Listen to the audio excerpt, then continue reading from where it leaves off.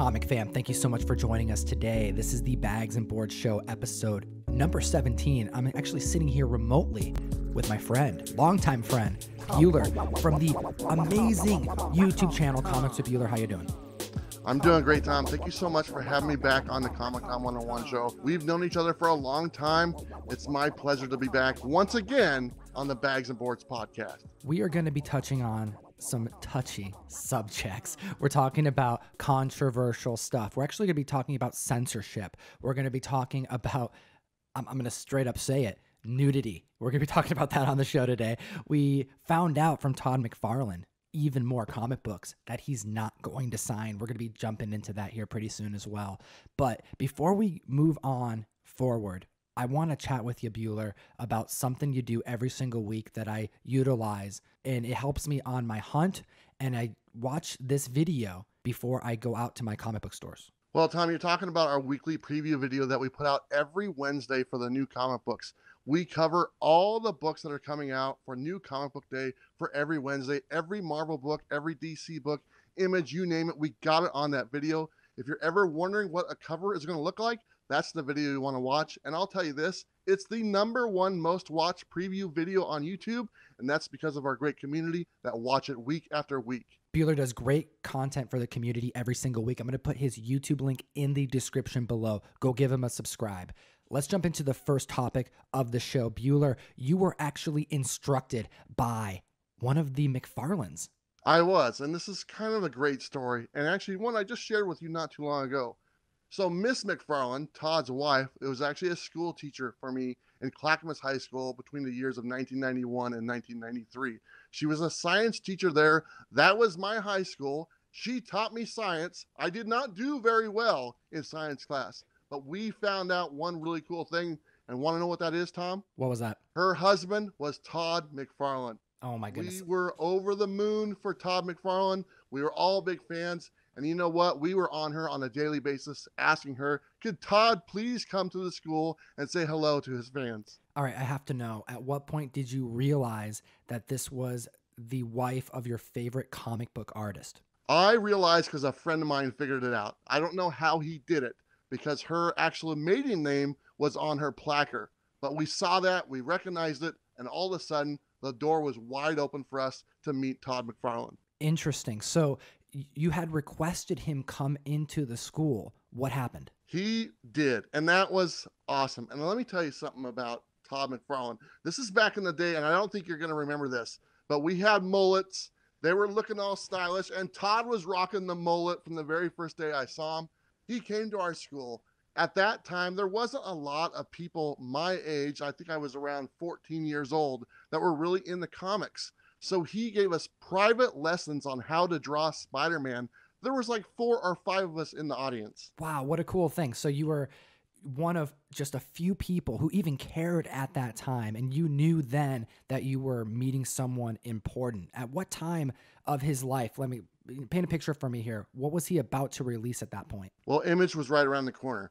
He had actually mentioned that at the school. He mentioned that there was a character that he's always wanted to do Marvel probably wouldn't be the one to put it out. And of course, very soon after, we see Image Comics come, and then we have Spawn, and I'm pretty sure that's the character he was talking about. For 14 year old kids, seeing their idol, for me, he was an idol. He was my Michael Jordan, not some actor, not some athlete. This guy was my Michael Jordan, and I got to see him when I was very young. And that impression that he made on me has lasted a lifetime. Can you elaborate on that? Because I think this is a great example of eh, the responsibility that, that isn't necessarily on these creators, but when they choose to take on it, then it could really impact their fan base and youth in general. At a 14 year old age, very impressionable. He noticed that right away and he took the time to recognize that with us. He didn't have to come to the school, he didn't have to do this for us he knew there probably wasn't going to be that many people. It was probably the smallest crowd he's ever performed for, to be honest with you. And I got to take advantage of that. Now, an example was he pulls me on stage. I ask him a question How do you draw Spider Man?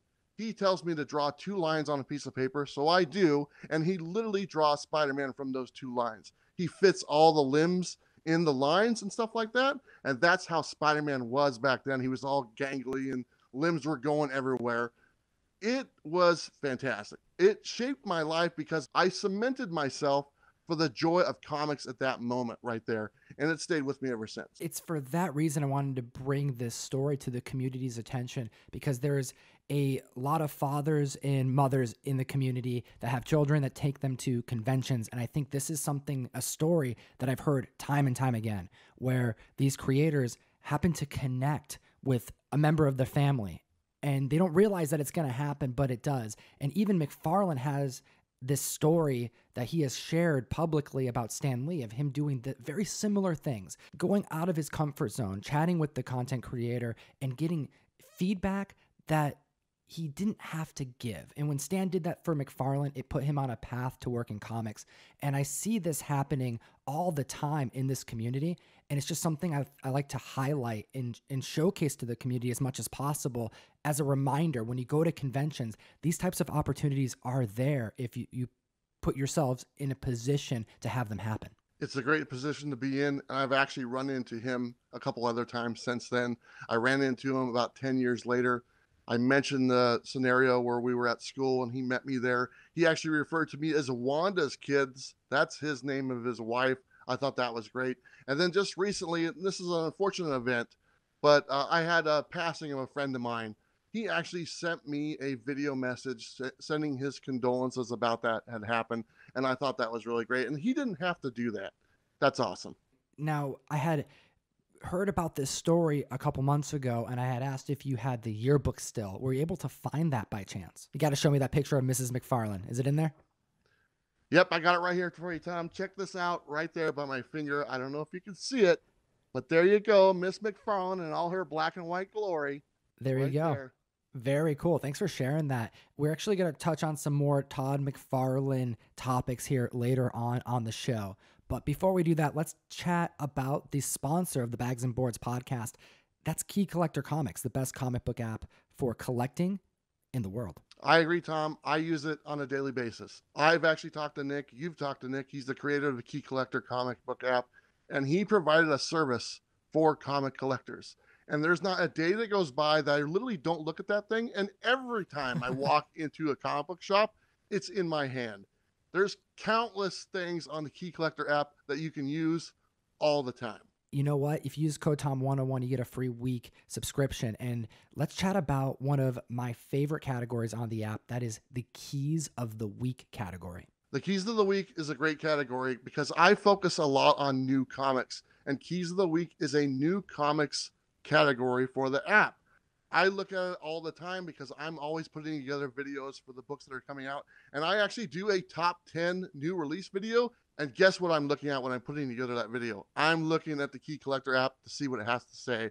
I use that information with my information and I put together that video. And it's one of my most popular. Keys of the Week gets updated every single week. And use that code to enhance your comic book collecting. And let's jump into the next subject of the show we are talking about censorship. We're talking about comic books that are controversial because of some changes in the YouTube community that are coming. We have various types of threats to monetization and channels that make content that may or may not be child friendly. And that has spawned this idea of this podcast, like the theme of this podcast, and why I have Bueller, a friend who also has a YouTube channel on the mic today. So, the first subject that I thought would be fun to discuss is nudity in comic books, something more adult. What did you say? I, am pretty happy to talk about this, and I'm, I'm, I'm honored that when nudity came up, he immediately called me, and that's just fantastic. So let's talk about it. All right, Bueller, let's jump into it. Nudity in comics. Well, according to Comic Vine, the definition of nudity as it pertains to you know, when it's part of the comic book medium, is the absence of clothing usually employed in fiction for either erotic or comedic situations. Now, something that's really fun about this website is that they actually break down instances of nudity in comics, and there's a hard number that they've calculated, and this is for mainstream comic books, ones that you can get on the shelves and ones that are less independent and more mainstream. We have over 2,600 different occasions of nudity happening in comics. And some of the occasions here are actually listed by title. So some of the ones we're chatting about, it's not necessarily full nudity, but it's the absence of clothing. So some of these are for artistic purposes and it's not actually like a full frontal or you're seeing something like genitalia or something like that. But some of them are, as in this case here. So Saga, which is an image comic book written by the brilliant Brian K. Vaughan and drawn by the very talented Fiona Staples. It says here has over 24 occasions of full nudity in the comic series so far. I'm not surprised by that at all. I mean, Saga is one of those books to where there's a lot of nudity and strange nudity. And uh, if you're into that type of thing, I think Saga might be the book for you. In a very artistic and creative way, I might add. And another one here is Y: The Last Man. I, I went to a Vertigo title here with 17 occasions of nudity. Last but not least, I wanted to also mention this one Hellboy the Wild Hunt and Darkness Falls, both having six different occasions of full nudity in the comic. Now, when we have comic books have nudity in them, it's for mature readers, obviously, and it's been happening since the start of comic books. However, sometimes it gets past editors, it gets past publishers, and that's when things start to go haywire in the community as far as the collectors community. There are stories that are so good that just need to be discussed because it's fascinating. And Bueller, we should probably start him off with Tony Stark in Avengers Illuminati issue number one. That's right. Tony Stark is nude in Avengers Illuminati number one. There is a great, big, huge fight scene between Tony Stark and the Skrulls, and Tony doesn't have the time to put on his armor. Not only is he nude, but they strategically take the shadows and placements of other characters so you don't see anything, but he is definitely nude. And at the end of the fight scene, he is standing on top of a mountain and he is more proud than he's ever been, and he's on full display. It's classic and it's actually listed on a number of sites as one of the top 10 best nude fight scenes in comic books. Now, let's move on to one that's a little bit more scandalous. We're talking Green Arrow and Black Canary in Green Arrow issue number 34. This is from 1990, Bueller. Like I said, they didn't hold anything back, and there is a big, huge splash page with multiple panels on the splash page, and many different scenes have nudity in them. Not just minor nudity. We're talking about full backside, and there is a, and I'm just going to say it, a nip slip in this book. That's right. It got past the editors, and this is something that this book is known for, and one that actually brought some attention to mainstream press when it happened. Now, let's move on to one of the strangest depictions of sexual activity in comic books I have ever seen. And Bueller, you have never heard of this until I sent this uh, this picture of the book to you. No, I've never heard of this, and honestly, it made me cry because okay. it's just uh, it's one of those things. Is a doozy, comic fam. It's one that's known in the comic book community, but it's one that we don't like to talk about. But it happened. We're talking about World's Finest issue number two eighty nine. Batman and Superman. Oh gosh, this is a tough one. It's a tough one. Batman and Superman. Okay, they're weeping they're weeping and they're crying as they are watching a mating ritual between these leech tentacle species that live within the fortress of solitude. They're called the krill. And this tentacle species has to mate by going into each other. And it is the grossest looking thing. And Batman and, and Superman, they're crying because they know that they're going to perish after they experience the emotion and mate they perish after the fact and it brings them to tears. This is one of the strangest depictions of coitus in comics I've ever seen. Coitus in comics, I gotta tell you, just look at the panels. I mean, like you said, it's nothing like you've seen before. And although the same mating ritual is done with humans, as far as what you described, this is not very pleasant to look at. And like I said before, it brings me to tears, just like it did Batman and Superman. Okay, let's chat about the Elektra recall. We're going to get into some recalled comics later on in the discussion, but I think the Elektra one is a special one because it actually has a label of the nude edition on CGC labels, does it not? Yeah, it does. It's right on the CGC. It says nude edition on there. This comic is actually pretty widely available. There's a lot of copies of this book.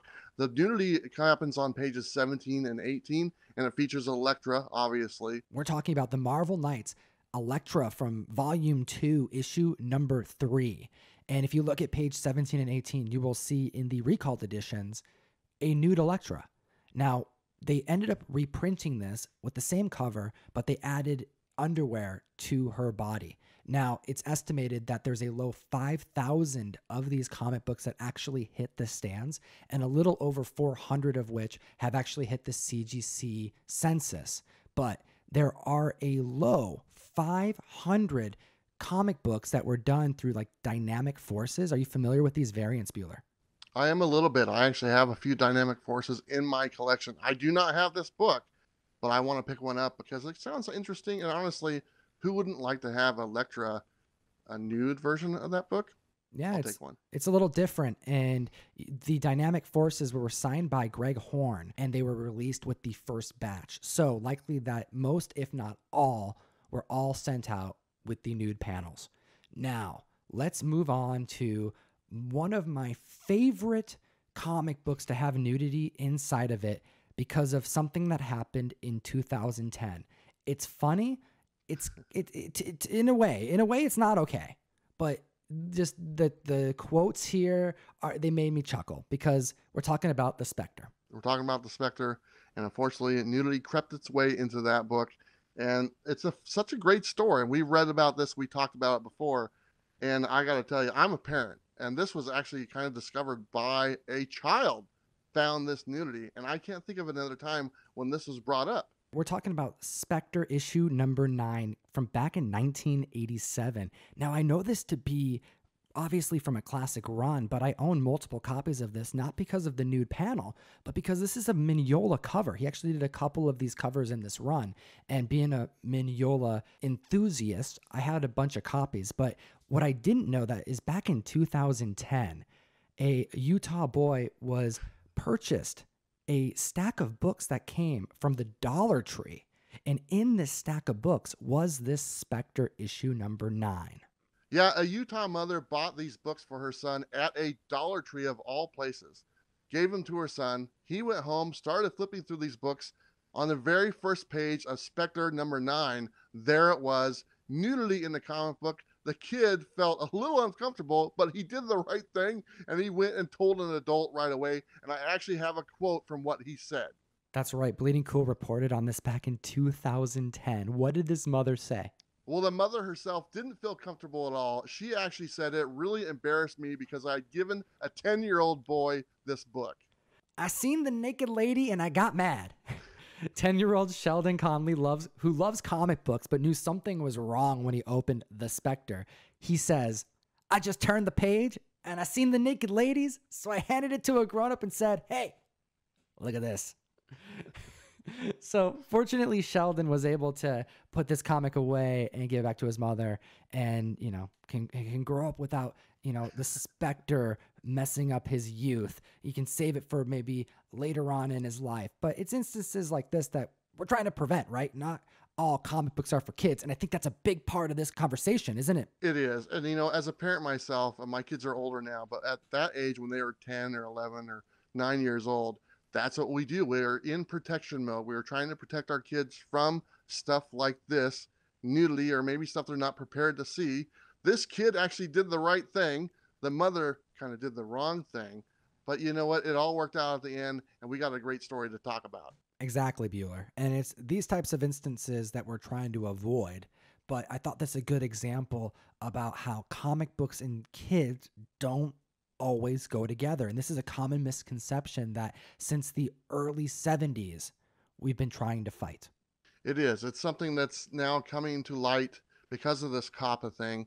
And you know what? It does have a lot of people scared, but I think there is a lot of fear out there. We're going to kind of get into that as we talk about this subject. But it does make you wonder because the characters that we talk about are considered to be kid friendly, I guess you'd say. And what are comics? Comics might just be kid friendly as well. Exactly, Bueller. And it's for those reasons why I felt it fitting to talk about this subject today. We have COPPA or COPPA, however you like to pronounce it. It's an acronym and it stands for Children's Online Privacy Protection Act. Now, this is a law put in place to protect children and the type of information that is gathered by them. And why this pertains to us in the YouTube community right now is because YouTube has just been hit with a huge fine and have rolled out a bunch of different requirements now put onto YouTube content creators that across the board appears to be a threat to anyone who makes content that may be enjoyed by children. It is a hard subject to talk about because we're we're constantly sitting here asking ourselves, is my content kids friendly? I, on the hand, would say it's not uh, made for kids. Is it friendly to kids? Yeah, but that doesn't mean it's made for kids. And that's where the gray area is right now when it comes to this COPPA thing. The gray area was where pretty much almost all people are kind of falling into, and we're trying to figure out what we're going to do next. So the concern here is this law. It actually was enacted back in 2000 in April, and this was at the start of internet becoming a very household thing. The law was put in place to protect individuals who are under the age of 13 of having businesses collect their information. Now, first things first, we're not lawyers, so there that needs to be said. But if you go through, you can watch a 45 minute press conference that has been aired over this last week, um, or you can take a look at the FTC complaint doc or the stipulated order that was submitted to YouTube for this whole rollout of the complaints that they had and that what resulted into the filing of a $170 million lawsuit. COPPA has made it so that if a channel is being monetized on YouTube, is making content for children, then those channels are at risk of not only being shut down, but being fined so heavily that they may exceed $40,000 per video. That's right. That is uh, the fine that they're looking at. Now, just so everyone knows, it's not an automatic fine. This is not something that you would just get a bill for and you have to pay. There is a process that our government has. You would actually go to court, you would have to have the lawyer and all that stuff. Like Tom said, we are not lawyers, so our advice is just our personal opinions. But this is something that is getting a lot of attention right now, and it does have us worried. Now, like I said before, I don't consider my content to be kids' content. What about you, Tom? I don't either. And although it is on the side of kid friendly because we avoid the use of foul language and really diving into subjects that are, you know, too controversial that would be potentially flagged or not marketing friendly. Our analytics show that as little as 0.01% of our audience is of the age of 13. Yeah, it's very small. My algorithm shows the same thing. I look at my numbers, everything is really above in their 20s. There are people my age, there are people your age who are collecting comics. And our content is focused on the collector. There's not a lot of 13 year old kids or younger that are collecting comics and the stuff that we talk about. That's what we focus on. We've had a handful of DMs come through, emails written to the show, comments on multiple videos asking us to address our feelings of these changes coming to YouTube in as little as two weeks. I mean, by the time you're watching this video, it's going to be less than that. And at this point, we don't know what's going to happen. And the kind of like title of this video is like, is the channel ending? Could it potentially be the end of other comic channels that you like? Is that a hyperbole? In my opinion, I don't think it's what's going to happen, but it's not hyperbole. These are real things that could happen because what would actually signify the death of a channel that is community driven is the lack of community. And it's not just demonetization that we're fearing, it is the multiple layers of restrictions that become in place if a channel is looked at as being as content that's being made for kids even if it's not on the surface like maybe a comic book collecting channel goes. If that is the case, it's not just demonetization. We lose comment sections, we lose notifications, we lose access to being put into playlists. It's the death of the community. So, a community channel that loses a community, in a way, yes, it could be the death of many channels that we hold dear. I agree. You said it exactly right. It literally is the death of the community, not the channel. The channel is there but the community won't be able to find the channel. And the interaction that we have with our audience on a daily basis is gone. And to be totally honest, if that was gone, would I be driven to make the videos that I make? Would you be driven to make the videos you make? Probably not, because I met you because of this channel. You've met people because of your channel. I've made great relationships with people, and I don't want that at the end. Same here. And one thing that I found interesting is that when I went through the complaint document that the FTC filed, they actually had a handful, over 10 different sightings that they were claiming were channels that were marketing to children. And these are very large channels. Like we're talking giant YouTube channels. We are very, very small in this community here. But compared to like Hasbro, which was listed on this document, the big thing here is that they were self declarating that they were making content for children. They would say that these are kids unboxings. They would say that these videos are made for kids. And that's actually part of the FTC recommendation is making a declaration that your content isn't for children because the requirement that YouTube place to be 13 years of age or older has all been thrown out the window after going on record and providing proof that they've been collecting information for individuals of all ages for quite some time. I do not think it's right that if I make a piece of content that is decent and being able to be watched by everybody, I don't think that's the content that should be fined. And literally, that's kind of what they're doing right here.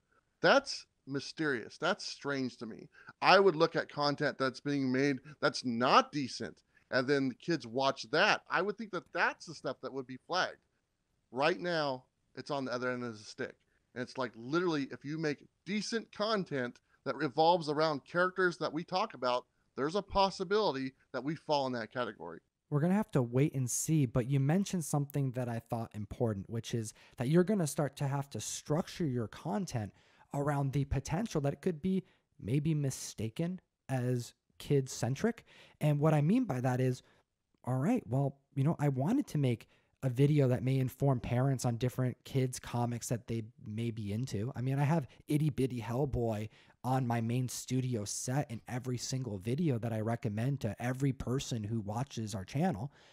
But now those videos may actually cause or pose a problem and could be the destruction of a channel. It takes one video that could hit the FTC's radar that could cause a fine that would make it just something that we wouldn't want to even risk. So why do it in the first place? Absolutely. You know, the, the future is definitely in question. But you know what? Uh, I like to think positive, and honestly, I think we're going to be okay. And I'm going to keep my fingers crossed, and nothing's going to stop. I think we're both going to keep making our videos until they tell us not to, and hopefully that day doesn't come comic fan, we want to hear your thoughts on this because this is a very real thing that's happening in the next month and it's going to pose a threat to a lot of channels. And we're going to wait and see and keep you updated all along the way. But supporting our channel has never been more important. And you can do that by liking, by commenting, just by engaging. It keeps the channel alive. Those little things really go a long way. And we need your support now more than ever.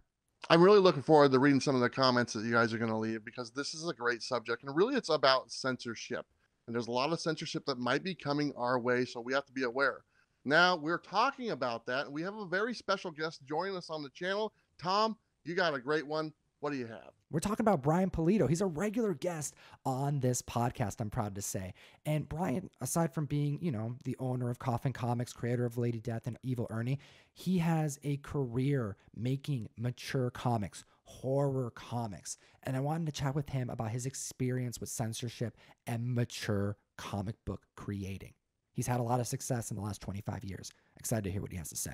Comic Tom, how you doing? Dude, I'm doing so good, man. We're talking about a sensitive subject on today's show, and I thought there's no better person to have than the master of mature comics. Um, I wanted to read you something, Brian.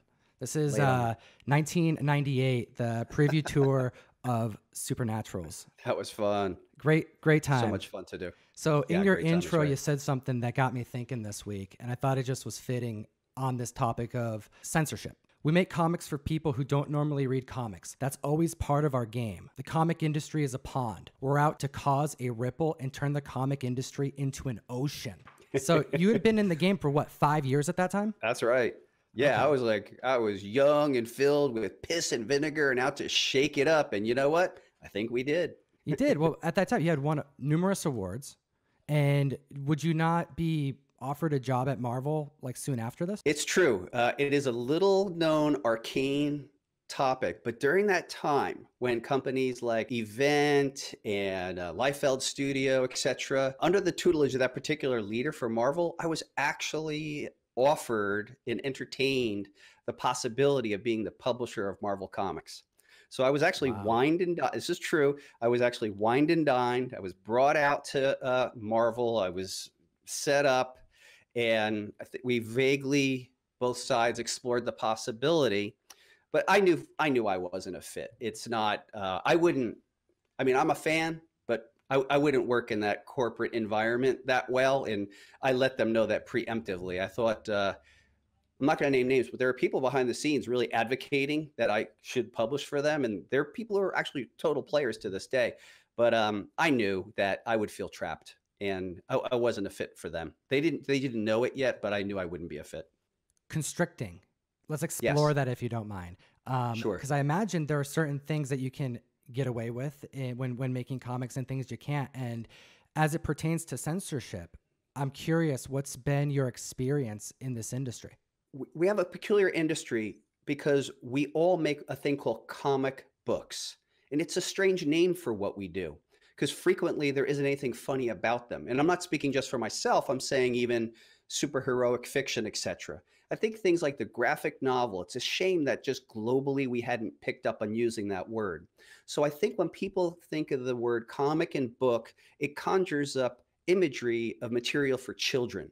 And I think this totally sticks to this day. The general public who is who are not as involved as we are, whether it be as like fans or professionals, they really think the default mechanism is that comic books are for children. Even the superheroic fiction that dominates cinema right now, I mean, that could be enjoyed by everybody, and, and I enjoy it as much as the next guy, but I think it calls to the notion of mass market and for children. So, that being the baseline, anything that tends to deviate from that seems to get a reaction. So in my particular case, I mean, as recently as 10 days ago, we produced a book called Hellwitch the Forsaken. And we were at pre-press with a printing partner of ours. And they came along to a certain page, page 22. And it was a um, what I would call a carefully gloved sexual depiction. And I don't think it was X-rated or hardcore. However, the printer looked at it and said, look, we can't print this unless you alter it.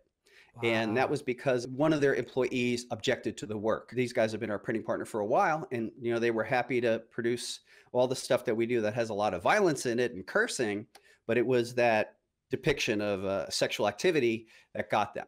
So it is interesting. And now here's the challenge in all this. The way I view free market capitalism, I declined to alter the material and chose to take my business elsewhere.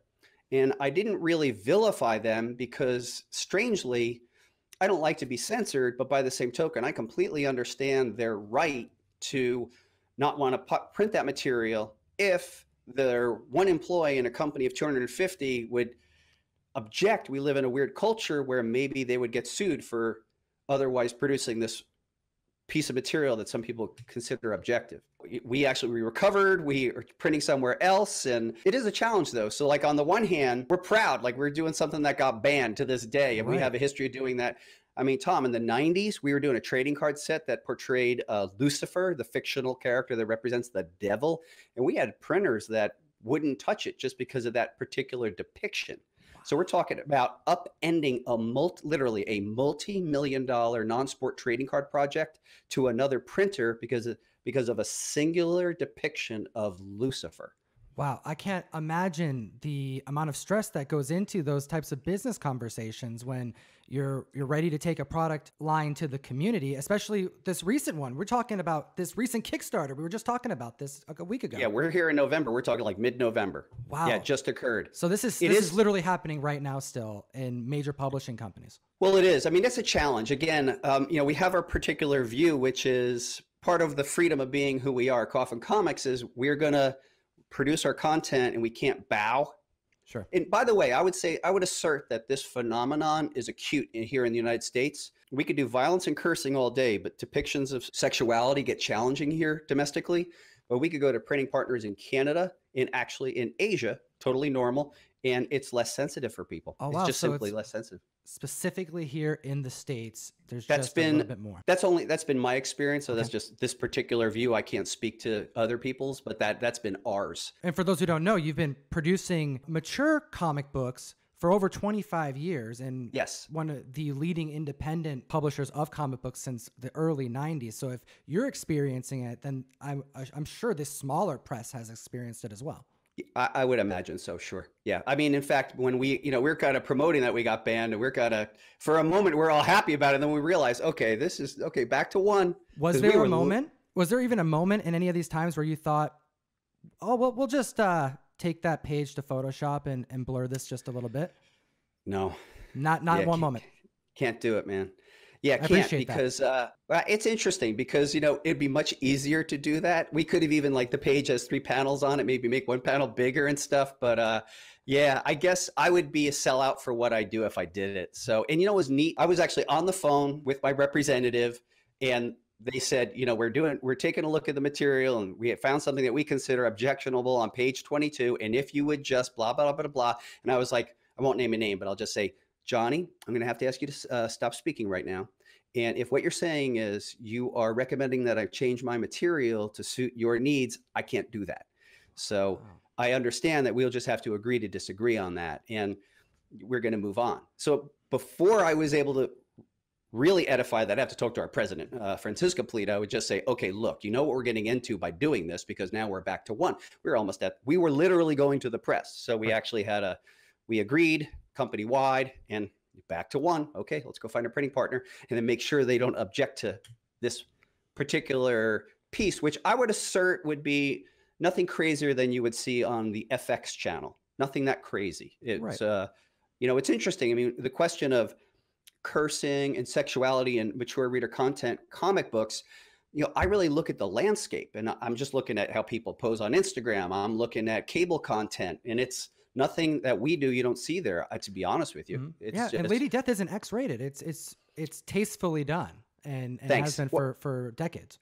Well, the fascinating thing, thank you for that, Tom. And I think the fascinating thing about Lady Death is somehow, somewhere along the line, people decided it was mature. And I actually never thought we were all that mature, but given that we were having that uh, label anyway, we were like, that's where we're going. All right, so more cursing, more sex, more violence. Let's have it, honestly. Sure. And then knowing again the landscape, I watched Game of Thrones, and I'm like, what? What didn't happen on Game of Thrones? You know, incest, sex, violence, beheading, you know, rape. It's crazy. So uh, I don't even know that we go that far. But given the pop cultural landscape, but what I would say to you, you said, is there a moment where you're kind of thinking maybe make the change? I think once we accepted our answer and we're moving on to the next printer, somewhere in there, I totally intellectually realized, you know, you just made it harder on yourself, Pulido. But this has always been the answer. The answer is always no. I love it. Well, do you think that in this uh, type of environment with with censorship in general, that it's would be difficult to cause these ripples as you described back in 1998, like the goal of getting new individuals into comic books? You know, that's always our goal to this day. And I, I mean, we could see it now empirically through crowdfunding. We can see when we attract people who have never crowdfunded a comic book before. So it's still always the goal. Uh, so uh, I do think that we, in the in the domain of comic book entertainment, we're competing with everything that's happening. So our type of entertainment competes with everyone's whatever they're doing in their day, other forms of entertainment. I think sometimes people get a little short-sighted thinking that comic book companies compete with each other. I mean, certainly they do for market share, but our competition is for people's attention, whether that is for the other types of entertainment they consume or just the stuff that's in their life every day, the ups and the downs, the changes. So that the premise of going out there and looking for the ripple, going to cause the ripple, it's it's kind of what we wake up and go after every day. It but it's sort of like the carrot that's on the stick. It's always a little further out. I'll close with this, Brian. Back in the early 90s, you caused a ripple with Lady Death and introducing this sword wielding badass who fights evil in mm-hmm. hell and earth. And Yes. when you started taking Lady Death back to press uh, a little bit more recently, right? In the last five years, is that correct? February 4th will be our fifth anniversary of launching a new Lady Death story. All of those stories from the 90s, retcon now. this new Lady Death line of comic books over this last five years. Fresh stories, fresh take. Now, for the first time on Indiegogo, available for everyone to jump into, is it not? Yeah. Yes, sir. Absolutely. In fact, yeah, it's the 10 chapters of Lady Death, and we usually have them in what's called a square bound, perfect bound format of at least 48 pages, all the way up to 64. But yeah, in the last five years, we've had 10 chapters of Lady Death, and right now they're all available on Indiegogo under Lady Death the Collection. I thought this would just be a great time to bring the Indiegogo to the community because we've had you on a few times on the show, and I want to have all of the individuals who are interested in jumping on. One of the challenges in getting into comics sometimes is people don't know where to start. Yeah. And this is an easy place to start. I'm personally going with the hardcover. I'm going to get the one through three trade. I have the one through three, but I don't have them in a hardcover bound. So I'm going to pick that perk up and I recommend the community do so as well. We're going to put the link in the bio um, and introduce Lady Deaths to the comic book community who haven't Thank you. who haven't met her yet and her badass. You need to meet her. You don't need to, but I cordially invite you to meet her. Oh, You- I'll, say you, might need to. you- I'll, I'll say you need to. All right. I appreciate it. Brian, until next time. I've been Brian Pulido, geek responsibly, and Comic Tom, assemble. Assemble. I love it. Brian, you're awesome. Thank you so much for joining me today. We'll see you again soon. All right, let's talk about Sir Cates. This week, this guy caused a ruckus. We're, we're, we're filming this during Thanksgiving week, and I hope everyone had a really good holiday. Donny Cates got into it with a handful of his Twitter followers, some who wanted to just voice their opinions on pirated comic books. Comic books I didn't pay for, but they were able to find online because some people post them on the internet and you can find them. Now, the definition of pirate, pirated comic books, uh, it's pretty clear cut. You know, if you download the comic as a PDF, you know, it's stealing. You got to pay for these things. There's Comixology, there's always that as an option. However, the ways in which you can consume comics are so different. You know, they're all over the place. You can do, you know, we do breakdown videos and we show pages as we talk about them and and provide context. I mean, you have Comicstorian who does literal page by page breakdowns, and you see almost the whole book. So the extent of which how you can consume comic books, there's a gamut. But on one end, which is the illegal end, it's pirated comics and it's like just the straight, strict download. And this is what Donny Cates has to say about that. And this is in response to someone saying, I don't have access to the comic books or I can't afford it. He says, Sorry, if you don't have money, you don't get to just steal from artists and justify it. I want a lot of things I can't afford. I either save for it or I don't get it. You aren't going to make me feel bad for condoning people literally stealing from me and my friends.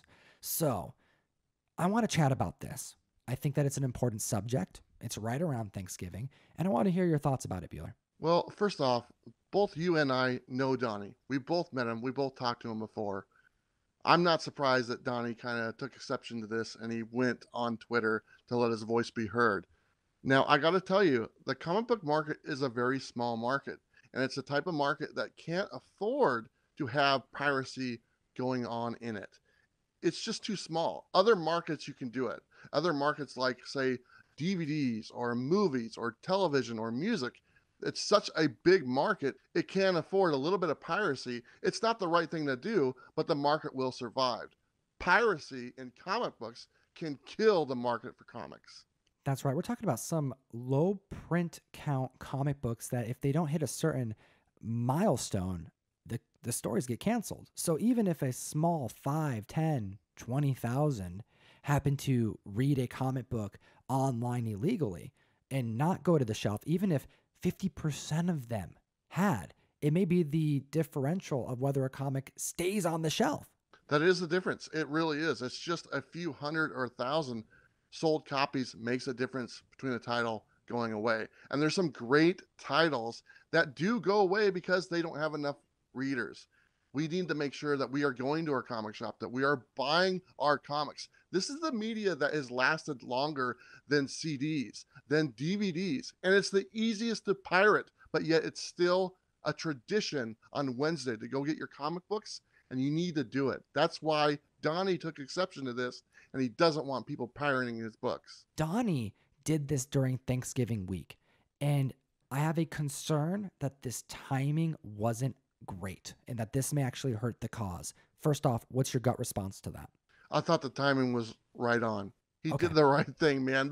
This is exactly what this guy does. He's in the face. He is the face of comics for Marvel right now, and he's going to let it be known what he wants to say. It doesn't matter the timing, in my opinion. And I think it would be great as this conversation is the conversation that people are having on Thanksgiving at the dinner table. That's a dream come true. Although I agree with you, Bueller, I think the timing is fine. Many in the community did not agree with it and they thought it was poor timing. And I don't know. I want to hear from the community what you think about this in the comment section below because I think it's important to bring up these conversations and to, to have these topics discussed fully because the more people know, the more they're going to do the right thing. However, I want it to be effective. I want people to actually do what they're supposed to do. I want there to be more comics made. I want people to read comics. That's the big thing. And you said something here that was important, Bueller. You said that there is like a joy to this community that's kept it alive.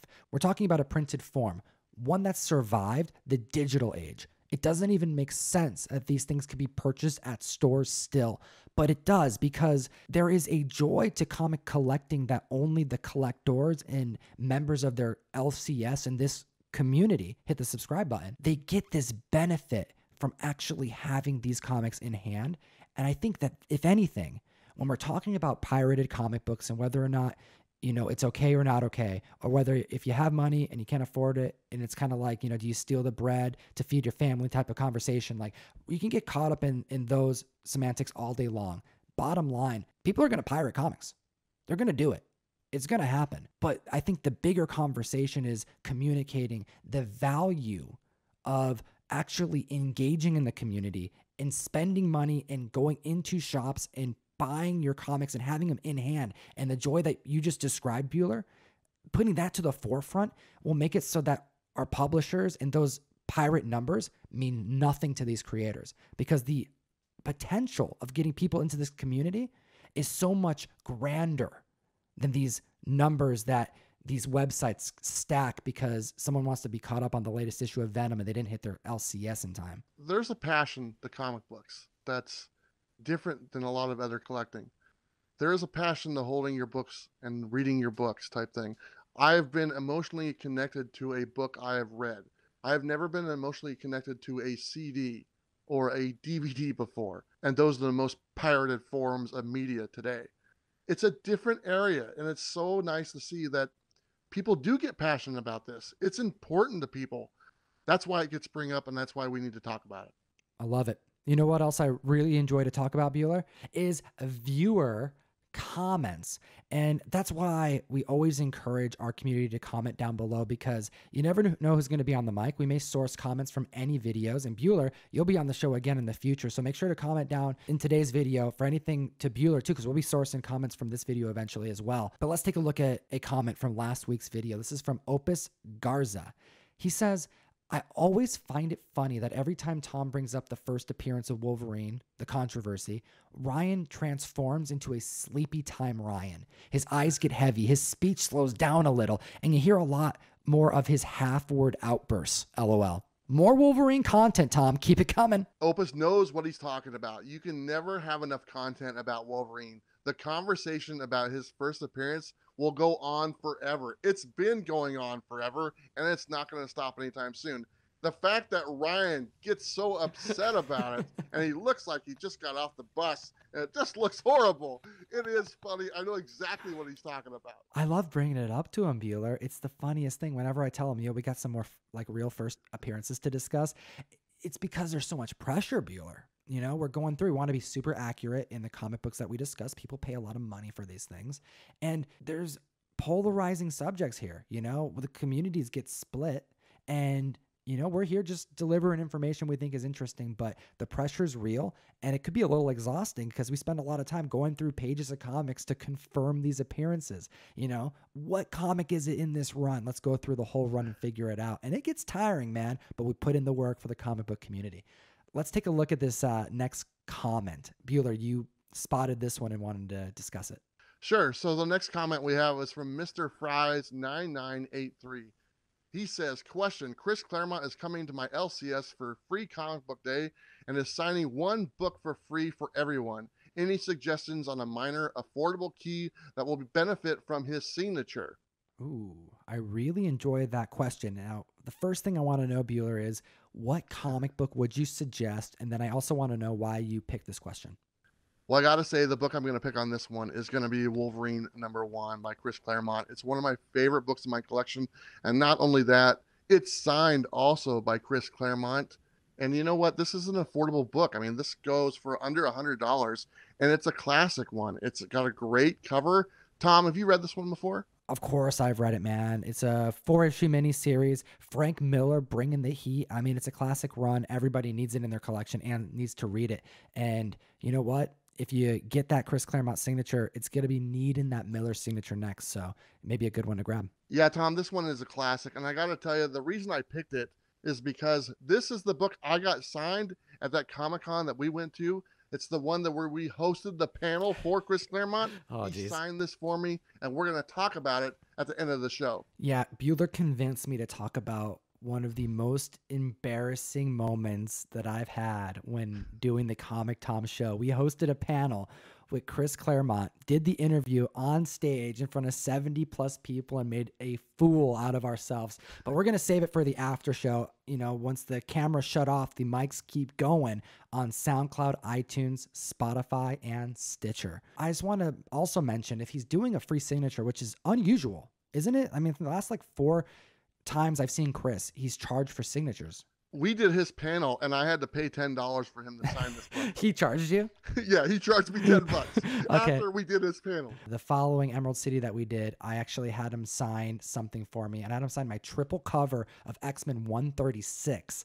And what's fun is that I had asked him, I had to pay like an extra 10 bucks, but he did a word bubble. This wasn't in the first draft, which is true. And you know what? I would recommend that if you are getting a free signature already and you want to get something that is a little bit more unique. I mean, Chris Claremont signatures are out there. You can pretty much buy any comic book with a Chris Claremont signature. He's been doing it for freaking decades. He wrote so much X Men. You may find yourself happier with something more unique and personalized, kind of like the one that I got here. So let's move on to the next comment. This is from Nicole Tembungi4.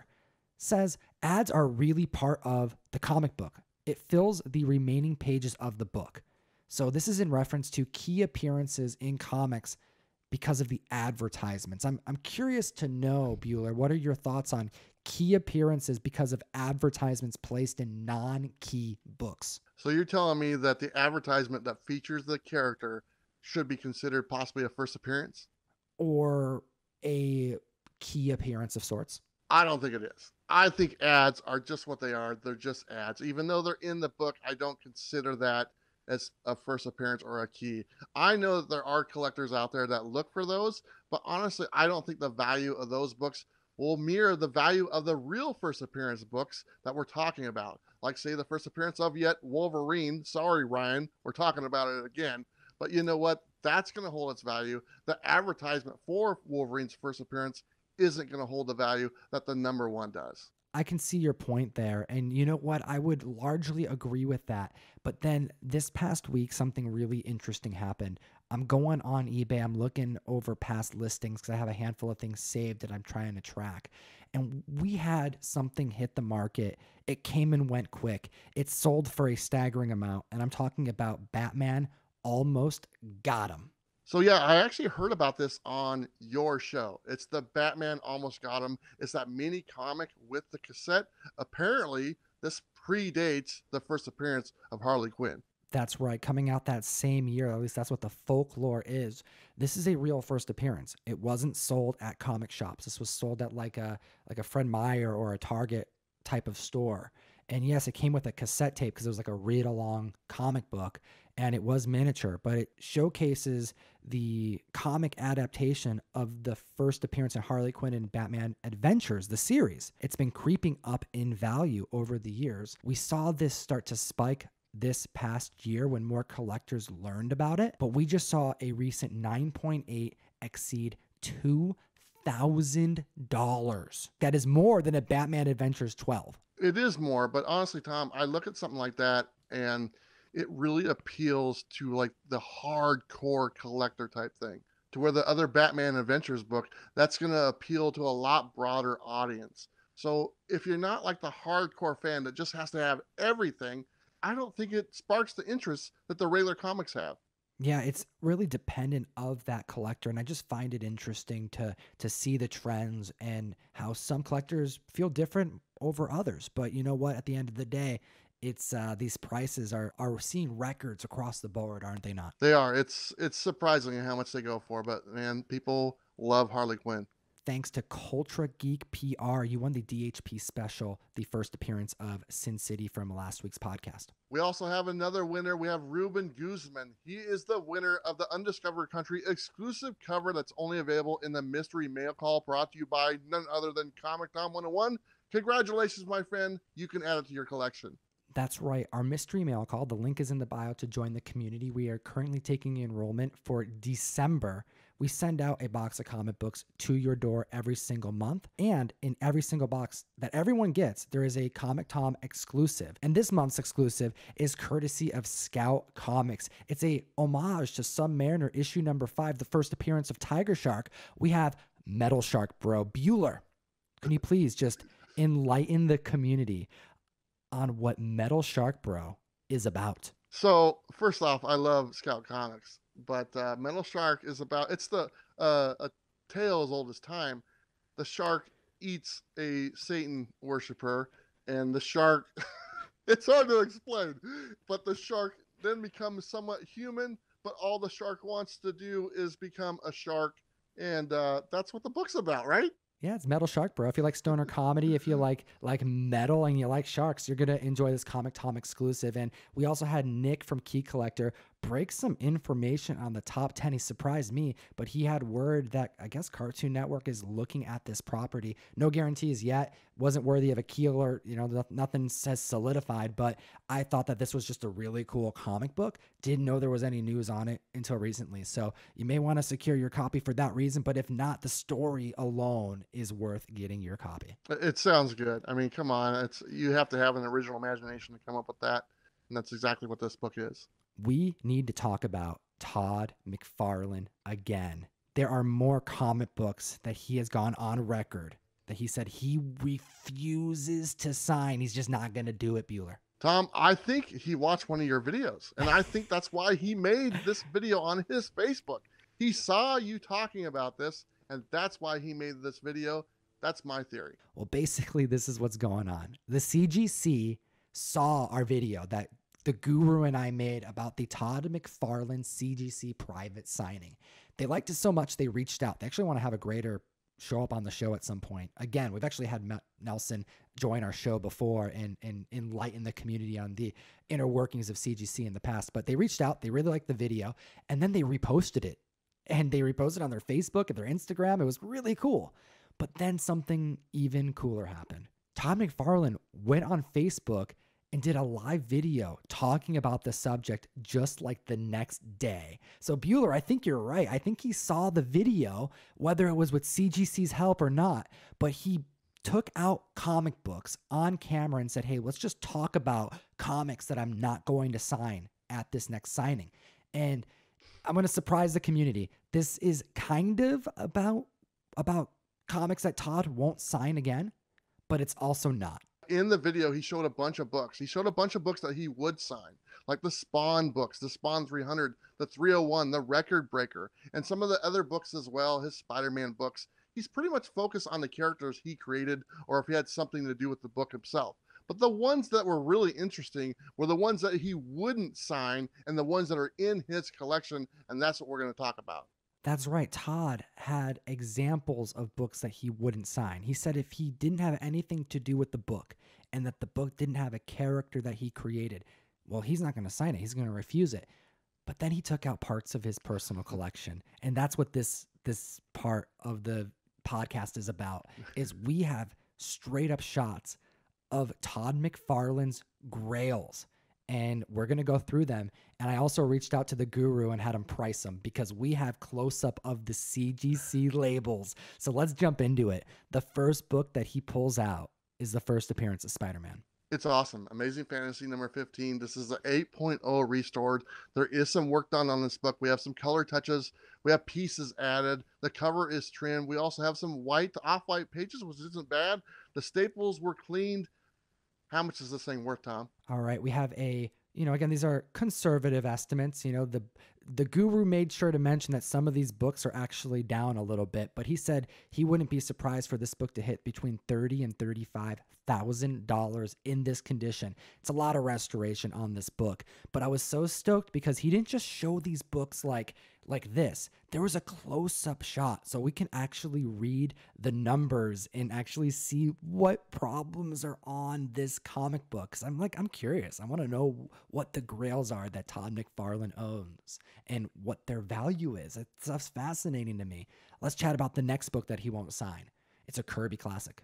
It is. It's Fantastic Four number one, 7.0, also restored. This book came out the same year Todd McFarlane was born. I thought that was pretty cool. Obviously, he didn't have anything to do with it, and then that's why he's not going to sign this book.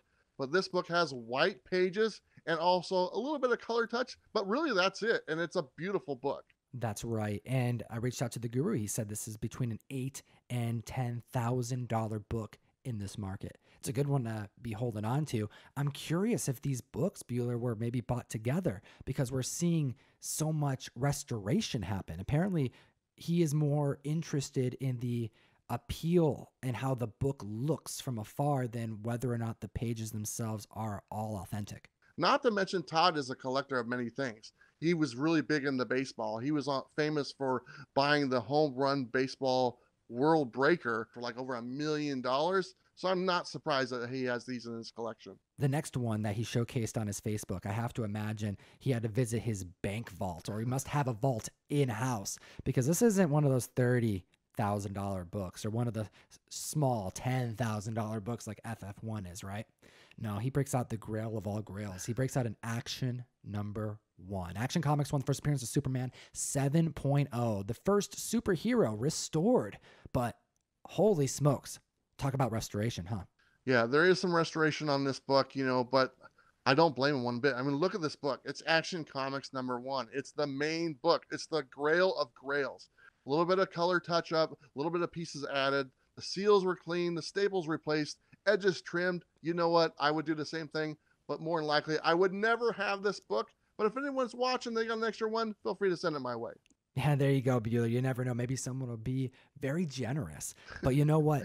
I reached out to the guru and read him the label, like the list of restored things that were on the book. Do you know what he said?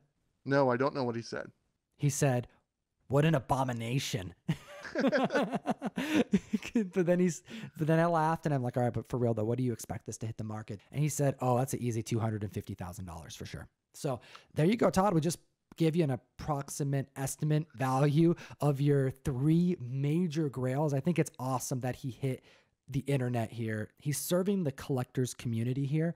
And by going on the video to share some of his personal collection and, you know, just provide a little bit more background on his reasoning and what he wants to sign and not sign. I think it's just more engagement with his community. And that right there are some of the biggest moves in the comic book community that actually grow it. You know what I mean? I do. And honestly, I got to tell you, it was so great to see part of his collection. And I want like the comic book community, the people watching this video, share with us what's your grail in your collection.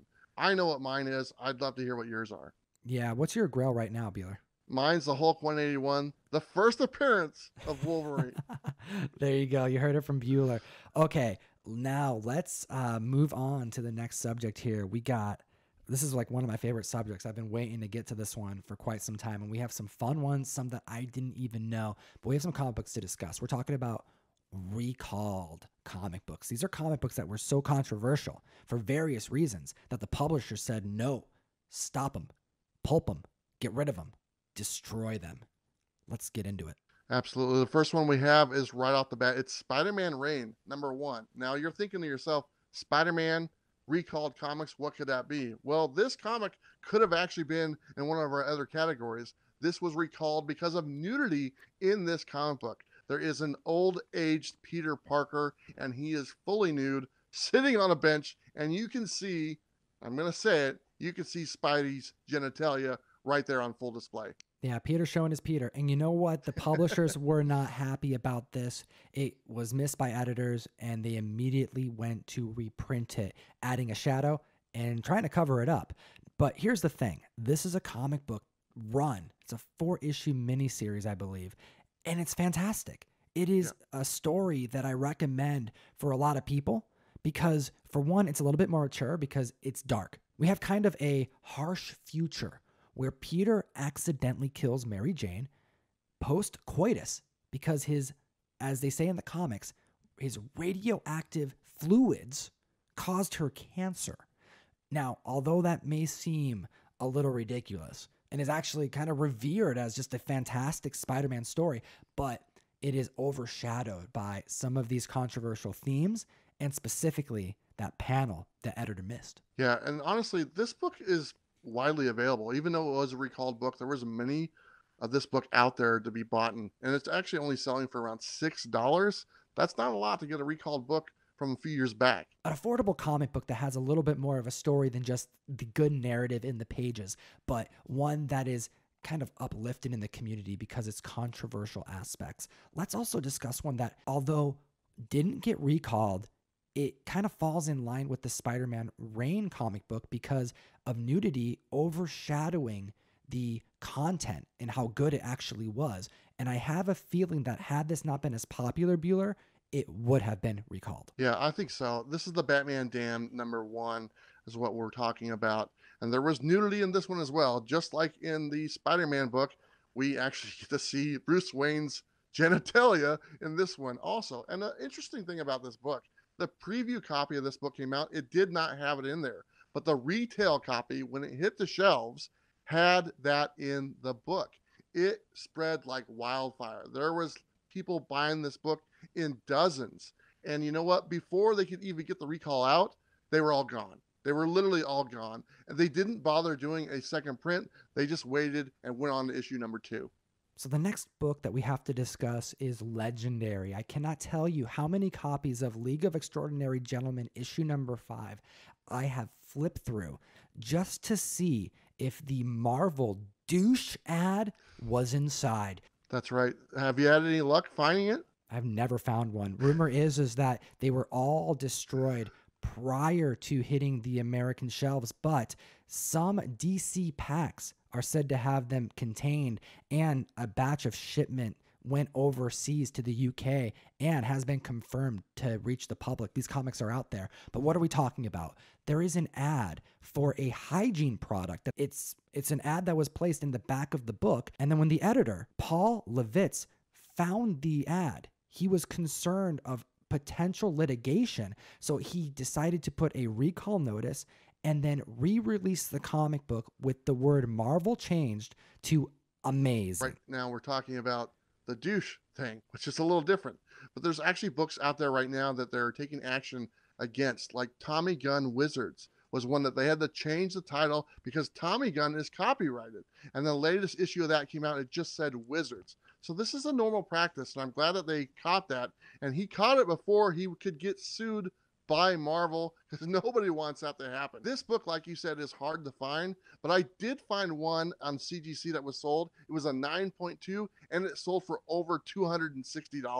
And something that I find just hilarious is that Alan Moore was published four months after this comic book hit the newsstands, and he had inserted in the art of this top 10 publication a character reading a newspaper, and the headline of the newspaper was Miracle Douche Recall. This is something that didn't just cause a stir among the publishers, this caused a stir among the creators as well. You gotta watch what you put in a comic book. You also have to watch what you put in the microwave, do you not?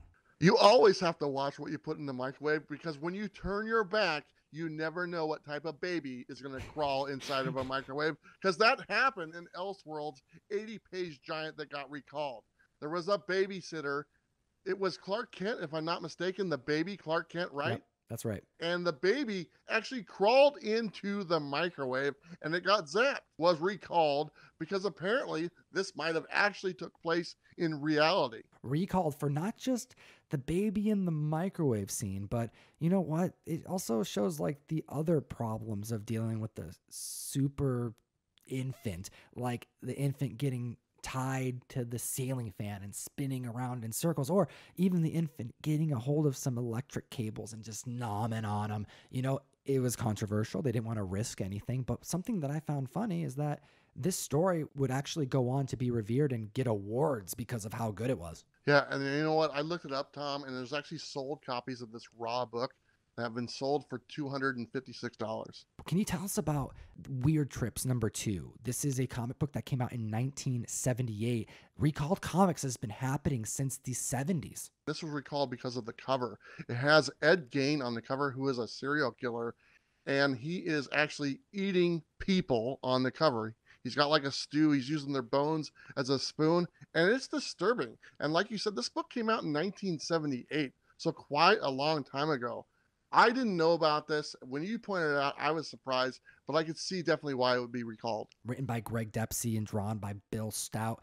This $50 comic book is amazing that it ever hit the stands at all because of how grotesque the cover is. It was only a dollar back then. But you know what?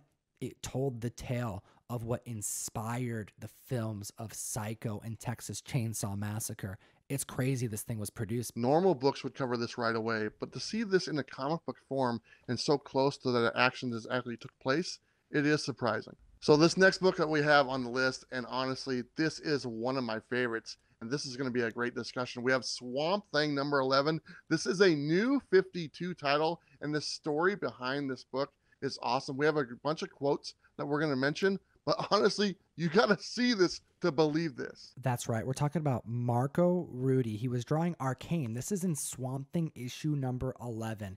And Arcane is a tentacle type of creature, and he's emerging from beneath the swamp, and he's taking on Swamp Thing, and they're getting into a fight.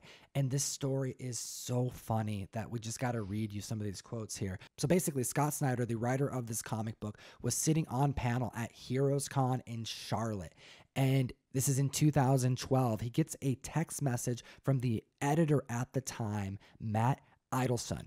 And what does Matt tell Scott? He says he has to pulp the comics, he has to actually get rid of every one of them. Scott says, Matt, why? Why do we have to get rid of all of them? So, this is actually the quote from Matt. So, one of Arcane's tentacles looks a little dickish. he looks a little dickish and scott's like what? What are you talking about? So scott says yo you need to send me these panels. So he's getting these panels. Can you imagine? Like he's on a panel and he's getting panels. It's inception style. And he goes okay he, i kind of see it. He's going through the page and he's and he's like okay i guess i can see they're kind of phallic shaped but still you gotta pulp the issues? Like all of them? And then matt's like no no no no no. Scott no look at panel four and and Scott he looked at panel four and I think he had your response, Bueller. So my response is, uh, yeah, you need to get rid of these books. so this is hilarious because Scott Snyder would go on to admit that this whole debacle was his fault from the get go because he was reminded that he told Marco, the artist, specifically, this is the quote, for more tentacles, if possible, in panel one and panel four. So, in a way, he had created the penis tentacle that had ruined my own book. Scott did it to himself. That's awesome. Tom, you say that a lot better than I do. But if you look at panel number one, I could see where that would be kind of brushed by. Maybe every now and then you might be, oh, well, something's going on there. But panel four is clearly how does that get past press? Oh, that's crazy. It's crazy, man. But it's comics like these that just make me chuckle. And you know, it's recult stories like this that give them just a another reason to enjoy them because it brings up conversation. It's a little bit of comic history.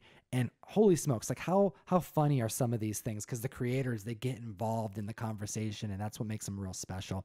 I encourage the community to check out the controversial comics category section on Key Collector. There are a bunch of comic books that are controversial for the reasons why we discussed, but a plethora of other ones. And you got to know them because these are actually available on the hunt because a lot of these, there's little minute details that make them controversial. And if you know what they are, you know what to look for when you are presented the opportunity to get them possibly on the cheap. That's right. And I always use the Key Collector app. It's got the section for these books right there, and it tells you what to look for because a lot of these recalled books they were replaced with other books. Now you know exactly what to look for if you have the Key Collector app. That's right. Use code TOM101 to unlock a free week subscription to unlock the full service of the app. I'm confident you're going to find one comic book that's going to end up paying for the service in its entirety. Hey, Tom, I had a blast. Thank you so much for having me back on the show. It was a pleasure, my friend. You know, if you're not familiar with me, like I said, I'm Bueller from Comics with Bueller. You can find me on YouTube. You can find me in the description down below. And you can also find me as a featured channel on ComicTom's homepage as well.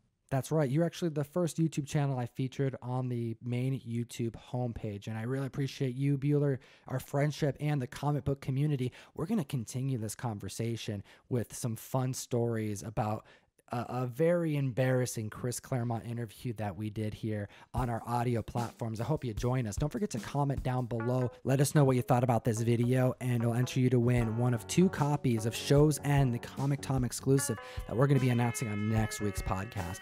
Remind you, we're going to be continuing this conversation on Spotify, iTunes, SoundCloud, and Stitcher, and we will see you next week. Thanks, comic fam. As always, geek responsibly. Enough said.